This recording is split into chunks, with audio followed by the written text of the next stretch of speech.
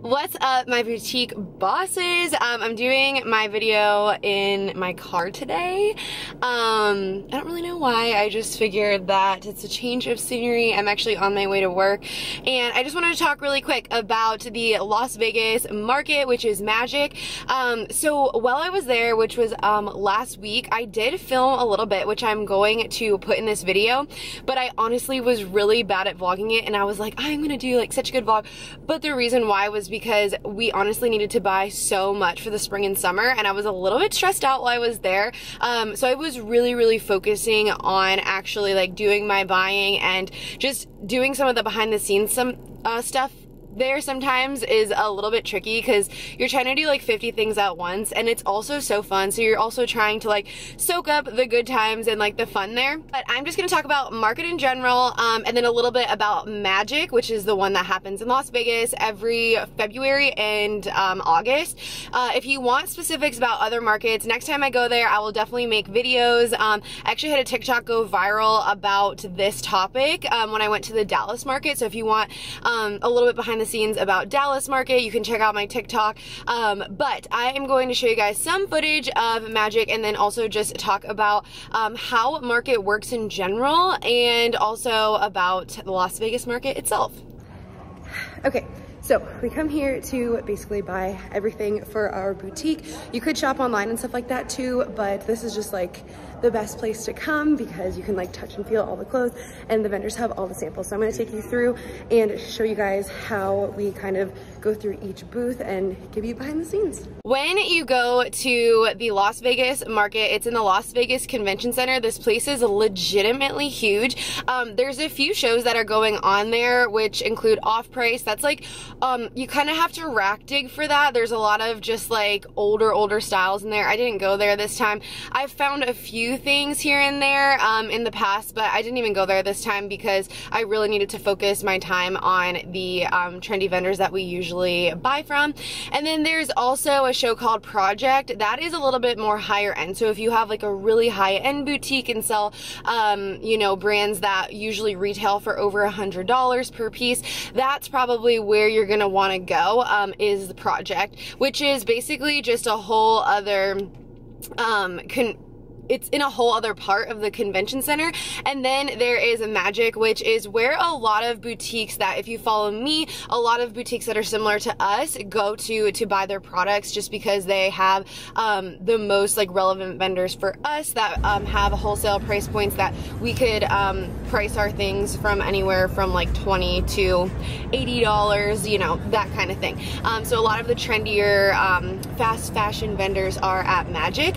And so the footage that you see is all of just Magic. I only went into Magic. It's just one humongous room with literally hundreds of vendors and it is so much fun you guys. When you go to a market um, you're just gonna want to fly into whatever city it is at whatever dates the markets happen. Um, there's not an actual market um, in Las Vegas during like the regular times of the year at this point. I think they might be um, doing a new one soon. It's called like Las Vegas Apparel and I don't know if that's going to be like year round but really um, especially with Magic you could only go there during this two specific times of year that they have it there. Um, so look up the dates, uh, plan your trip around the dates um, just depending on how much you want to buy. You can go for all three days or you can just go for one day. Uh, it doesn't really matter and you can just show up and leave whenever you kind of want to. If you are a first time buyer, uh, just know that you do have certain requirements that you do have to show to get into Magic, so, or like any trade show really. So just know that you are going to need like your business license and a wholesale uh, license, and then um, you could just go on like Magic's website, or you know, if you're going to Dallas, you can go to Dallas's website and it'll tell you the credentials you need to get in. Um, and you could call them too, they're really nice and they can just like walk you through exactly what you need to be sure that you can register for the show. Um, and then once you get there, you have to kind of sign in, um, make sure you're registered, get your badge. Um, they are doing badges on the phones a lot, but they used to do like a thing around your neck. So it just kind of varies between like the different markets you go to, what they like to do. So now let's just talk about how uh, market works. Whether you're in Vegas or Dallas or Atlanta, there are a few of these markets like all around the country. Um, most of your vendors are going to be based out of Los Angeles a lot of product is made overseas, so it's really easy for them to be located in Los Angeles so that they can get the um, cargo shipments in. Um, and then you can go to downtown LA essentially anytime, and they have um, little stores kind of set up, like it almost like looks like a retail store, but you can only buy wholesale. And you could just like go to your favorite brand stores. It's really, really cool. Um, I do like going to LA. Um, I don't know. I like LA just as much as I like any other market. I like it all.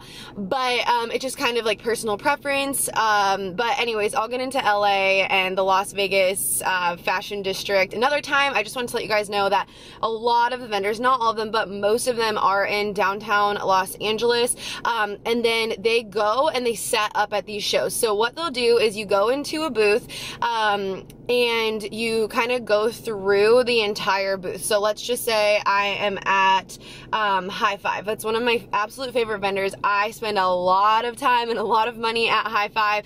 Um, they have a really great price point, really fashionable items, and also really comfortable. I think their quality is really great. Let's just say I go into Hyfve and they have literally this humongous booth and it is set up with literally like one of each sample, like a sample of like every single style they have. So let's just say they're making like 2,000 styles are going to be launching for the spring and summer. Um, and they will have just one sample and typically it's a size small, um, one size small sample of each. So you kind of go around the booth and um, I like to just pick the things that I want to bring into the store, the things that like catch my eye, have good price points, all that. So I go through the booth, I look at things like quality, I look at the price because that is really important to make sure that like you are getting good a good enough margin on the products that you are buying for your store. Um, so I look at like what can I sell that product for and am I going to have a big enough margin with this? Um, and so if it's something that I think is really cute and unique it looks like it has a good fit to it um, and it has a good price point and then you have to also look at the date too.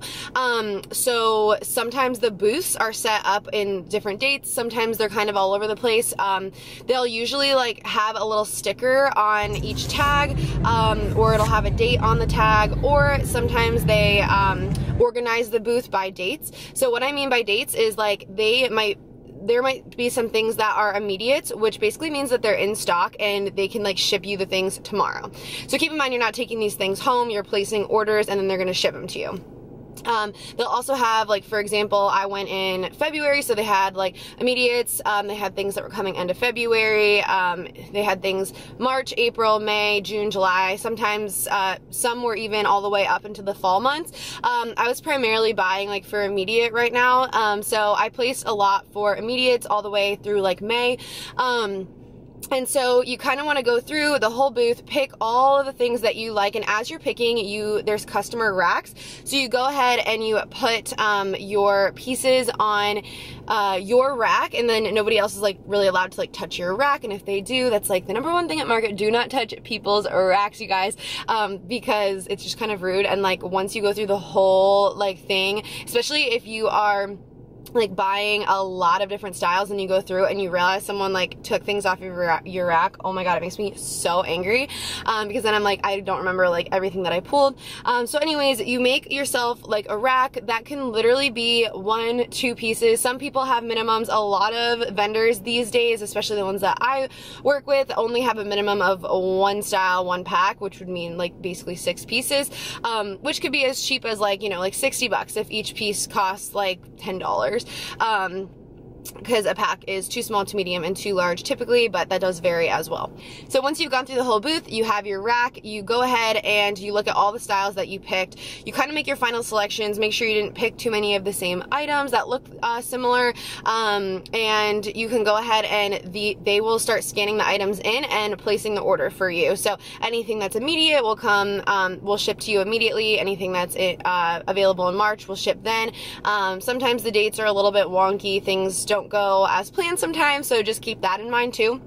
Um, but anyways, they, then they place the order for you and then you can go on to the next booth. You just leave your items there. They'll put everything back for you. Um, so yeah, so then you go ahead into your next booth. We like to stay on the strip in Vegas, so we actually tend to stay at the LINQ Hotel, um, which is right next to Harrah's. The LINQ is really affordable to stay, and it's also like fun downstairs if you want to like gamble at night. Um, and also it is clean, in my opinion. I think it's clean enough to stay there. So that's probably where we stay a lot. Um, but you can just make like the experience in Vegas like anything that you want it to be because you can like really make it like a vacation and like stay a few other days and like go to the pool pool, especially like in the summertime, um, and gamble if that's your thing. Um, honestly, gambling and like going out isn't really my thing, so when I go to Vegas, I kind of just try and get in and out of there um, as fast as I can. So I fly into the Las Vegas airport, we take an Uber to our hotel, and then we usually stay at Magic for two, two to three days, um, just depending on the timing. And then um, basically the whole time we're there, we go to market. Um, usually I think it's from like 9 a.m. to 6 p.m. and the last day is from 9 to 4, I believe. That's usually usually how it is. And then afterwards, we usually grab dinner. And I mean, there's been a few times that I did go out, but I didn't do it this time. Um, we just kind of went to dinner and then like relaxed in our room. All right, so my camera died clearly because this is a worse quality, but I was just about done talking, so I'm just gonna end the video here anyways. Um, so let me know if you guys have any questions. I will definitely do a more in-depth vlog next time I go to market, um, as long as I have a little bit more time that time. And um, in the meantime, let me know if you have any questions about going to market or different markets. And um, I hope you enjoyed this video. Give it a like if you did, and I will see you guys next week.